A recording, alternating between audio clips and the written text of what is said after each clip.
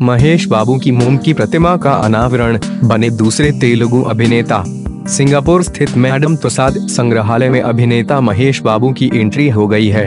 उनकी मोम की प्रतिमा का सोमवार को यहाँ एम बी सिनेमाज में अनावरण किया गया, जिसे बाद में सिंगापुर स्थित संग्रहालय में भेजा जाएगा। सात स्क्रीन वाला superplex M B cinemas Mahesh Babu और प्रमुख फ़िल्म वितरक कंपनी एशियन ग्रुप का संयुक्त उपक्रम है। प्रभास के बाद महेश दूसरे तेलुगु अभिनेता हैं जिनकी मोम की प्रतिमा बनाई गई है। एक बयान के अनुसार, प्रतिमा को एम बी सिनेमाज में एक दिन के लिए प्रदर्शनी के लिए रखा जाएगा और इसके बाद मैडम तुसाड संग्रहालय में स्थापित करने के लिए सिंगापुर भेज दिया जाएगा।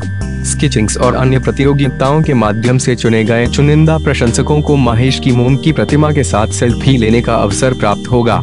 फ़िल्मों की बात करें तो महेश अपनी आगामी तेलुगु फ़िल्म महर्षि की शूटिंग में व्यस्त हैं। इसके निर्देशक वंशी पैदेपल्ली हैं। अपनी आखिरी रिलीज़ फ़िल्म भारत आने नेनू में एक मुख्यमंत्री का किरदार निभा चुके महेश जल्द ही निर्देशक अनिल रविपुडी की फ़िल्म में काम शुरू करेंगे